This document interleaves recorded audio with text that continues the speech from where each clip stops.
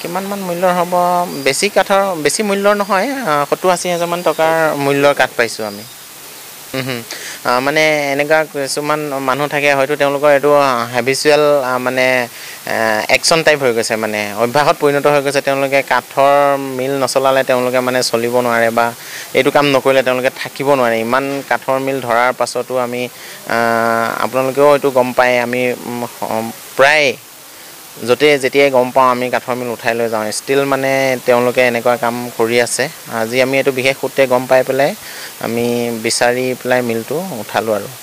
তেনেকুৱা মানে হৈছিলে কি আমি লোকেশ্যনটো ভালকৈ পোৱা নাছিলোঁ যে চ' মানে জেগাডোখৰ বিচাৰি ওলাওঁতে প্ৰায় আমাক ডেৰ ঘণ্টামান সময় লাগিলে।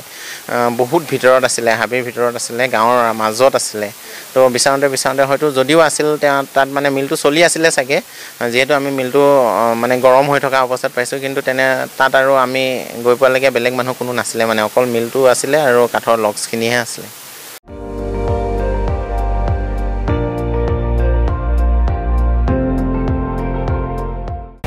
আপুনি চাই আছে এন ডি টুৱেণ্টি ফ'ৰ সৰ্বশ্ৰেষ্ঠ নহয় সৰ্বোত্তমৰ দৌৰত